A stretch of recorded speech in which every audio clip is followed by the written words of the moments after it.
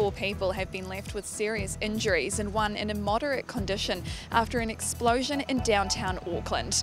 The incident happened here at a construction site just before 6.30 this morning. A large number of ambulance and police attended the scene and the five people have been taken to Middlemore Hospital. A man who works with those injured believes that the gas cooker had been left on overnight, while a worker here at a nearby cafe said they didn't hear an explosion this morning but did report a smell. A police inspector on the scene said work had not started when the explosion occurred, that the workers had been sent home and that the site would remain closed for the rest of the day.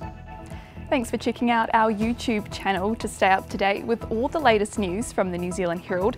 Click the subscribe button below or check out one of the videos here and head over to nzherald.co.nz for more details on these stories and more.